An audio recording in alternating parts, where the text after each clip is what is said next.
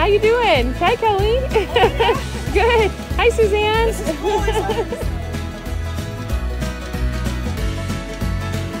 Here you go.